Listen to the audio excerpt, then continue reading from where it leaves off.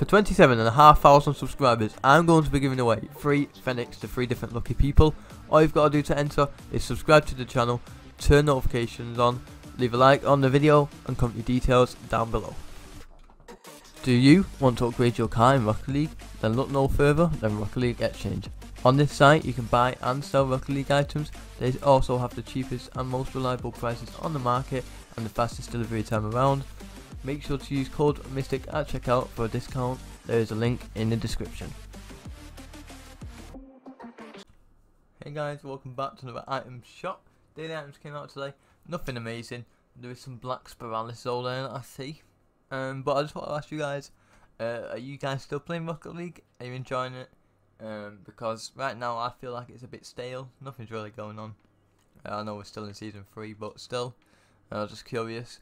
Obviously, Cole and White, if you do want to support me, I need to uh, put that on. Uh, hold on. There we go. Top left, it should be. That's not appearing. Don't matter. Um, but yeah, are you guys still playing uh, Rocket League? Like, wait, what are you doing on it? Trading's a bit dead um, at the moment.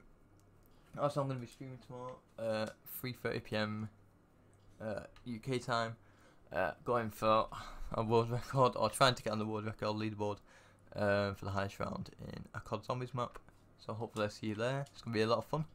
Um, and that's it for today. Like, all that good stuff. Featured items is out tomorrow. I won't be able to do it though, depending on if I'm on a run on zombies or not.